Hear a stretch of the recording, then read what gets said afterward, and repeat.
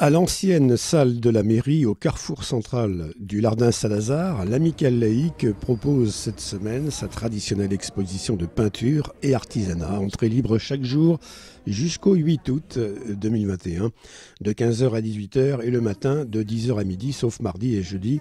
Le vernissage, samedi 31 juillet, faisait office d'ouverture du Festival des Arts et des Mets. Plus d'une vingtaine d'artistes ou artisans sont accueillis à cette exposition laïque a pour vocation de créer du lien social. Alors quel meilleur moyen que l'expression artistique? Je remercie tous les artistes et, euh, artisans qui sont venus jusqu'au Lardin pour nous faire profiter de leurs œuvres. Merci particulier à Marie-Claire qui, comme tous les ans, se démène pour trouver des exposants euh, toujours différents et merci à tous les bénévoles qui permettent que l'exposition dure une semaine. Il y a eu 13 peintres cette année et 11 artisans.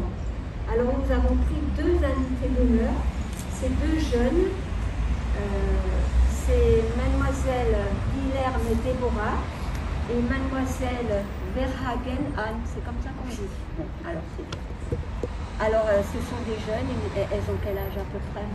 Oh, 25 ans, voilà. Donc on a choisi des jeunes cette année. Après, nous avons les peintres.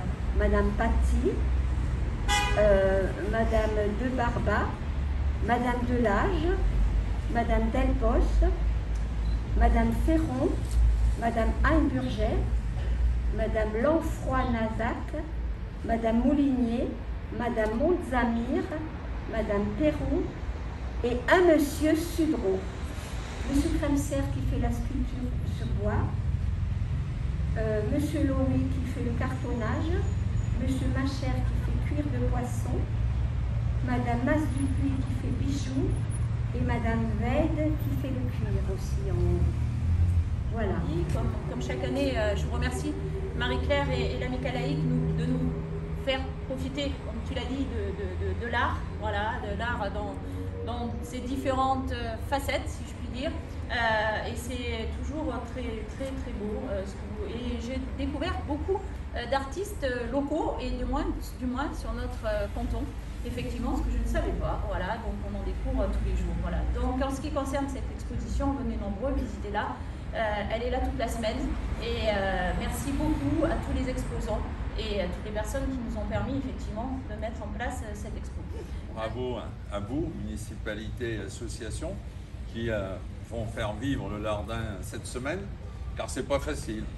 Ça, transpire des discours des uns et des autres, hein, entre la Covid, euh, le temps, hein, et la société un petit peu chagrine en ce moment.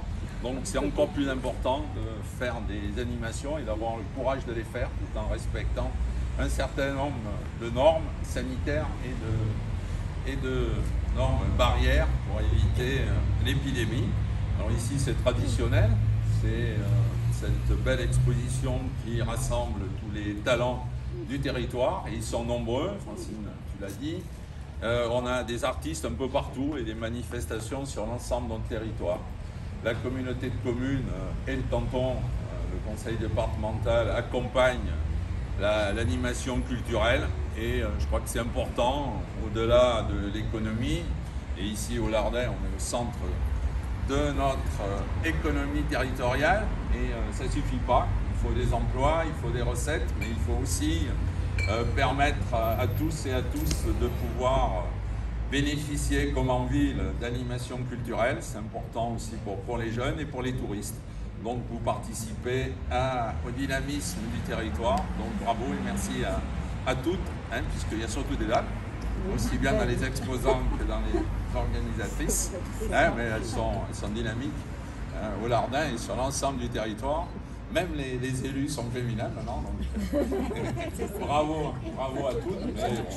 Mais, euh, les, hommes, il faut quand même qu'on résiste aussi. il faut qu'ils apprennent à peindre et à sculpter. Donc merci à, toutes et à tous. Alors en fait, je réalise des tableaux en tissu. Euh, je, prends comme base des tissus de draps, des draps de grand-mère, de lit. Et puis je sculpte en fait le drap, je le travaille et puis ensuite je le peins en blanc ou euh, j'utilise une couleur pour mettre en valeur le relief de mon travail. L'imagination, c'est euh, au coup par coup, selon ce que je vis au moment donné ou ce que j'entends. Euh, et en fait, euh, je vais réaliser des tableaux figuratifs ou bien des tableaux complètement abstraits. Alors, c'est la première fois que j'assiste à cette exposition au Lardin. je viens de Blisséborn, où nous avons un, jardin de sculpture et que nous ouvrons au public. Et donc, et je peux montrer là-bas également mon travail. Les vendredis, samedis et dimanche après-midi. Euh, ça peut être de l'acrylique, ça peut être de l'huile, du pastel, du fusain, euh, un peu pour euh, l'évasion de l'esprit et, et, le bien-être. voilà. Parce que quand on est vraiment sur sa toile, on ne pense à plus rien. On est dans notre œuvre et, on, laisse évader son esprit en fait. vous allez dans les expositions, vous ne trouvez pas vraiment ce qui vous fait plaisir et vous vous êtes dit mais je vais passer de l'autre côté et c'est moi qui vais peindre. C'est ça même, ouais. La chapeau. J'ai voulu un tableau. Et en fait, partout où je me rendais, euh, j'envoyais, mais euh, pour moi, il me semblait facile et, un peu cher. Donc je me suis dit, pourquoi ne pas euh, ben, te mettre aussi à peindre? Et puis, bon, j'ai eu un, gros souci de santé, donc j'étais en arrêt un petit moment, un long temps, et, pour ben, évader mon esprit. Et, c'est toujours l'évasion de l'esprit en fait. Et ça m'a servi un peu de thérapie, donc ben, j'ai cherché une, enfin, prof, euh, qui, parce que tant qu'à faire, je voulais apprendre les bases, quoi, les volumes, les, hautes lumières, enfin, les, ombrages. Et du coup, j'ai trouvé vraiment, euh, je devrais peut-être pas le dire, mais la perle rare, euh, qui, qui, sait transmettre sa passion et qui est artiste peintre sur Sarlat. On peut donner son nom si vous le souhaitez. Hein. On peut donner son nom, elle s'appelle Sophie Nouédé. Venez vous-même de Sarlat? Je suis née à Sarlat, mais j'habite euh, à la limite du Lot. Qu'est-ce qui vous fait tant plaisir dans cette activité? Est-ce que, bon, on l'a compris, euh, l'évasion de l'esprit, euh, la création La création aussi. Mais aussi le, regard que portent les autres sur vos œuvres aussi, ça doit vous faire plaisir. Bien oui, mais après on n'est jamais, enfin, je suis quelqu'un d'un peu trop perfectionniste, donc euh, jamais, je ne suis jamais trop satisfaite et pourtant euh, ben, le, regard des autres et ce qu'ils en disent ben, me dit que finalement voilà, c'est ce qui m'a décidé à exposer aujourd'hui voilà, devant du public. Est-ce que ce n'est pas difficile de se renouveler aussi, de, trouver toujours autre chose à, repeindre Comme un écrivain qui a la page blanche, ben, il y a la toile blanche aussi, oui, effectivement il y a le temps, parce que quand on travaille, évidemment, euh, voilà, on est à la retraite, qu'on fait ça euh, pour son loisir, mais quand on travaille et qu'on a une vie euh, un peu votre cas. trépidante, oui. Donc, oui, vous trouvez quand même le temps de peindre dans vos heures perdues Je prends le temps, en fait. Ben, ce petit parcours, mon petit parcours a fait que ça m'a appris qu'il fallait prendre le temps de vivre, le temps de, prendre soin de soi. Et du coup, ben voilà, je prends le temps de, euh, prendre euh, voilà, du temps pour dessiner. Euh. après, vous ne faites pas ça pour rien parce que le, plaisir que ça vous apporte, c'est énorme. Voilà, le plaisir, le regard des autres, ce qu'ils en disent.